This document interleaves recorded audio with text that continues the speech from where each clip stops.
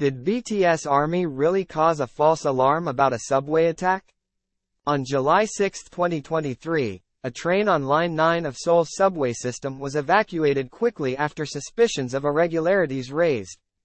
The train was approaching the Sinnonhyun station, where many disembarked and authorities were dispatched. So, was the issue really caused by BTS fans?